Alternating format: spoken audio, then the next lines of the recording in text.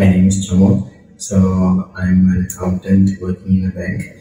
And uh, the first time I heard about Zenith Immigration Lawyers was through a mutual friend of mine who also applied for the process. And uh, I launched my application uh, in May 2020.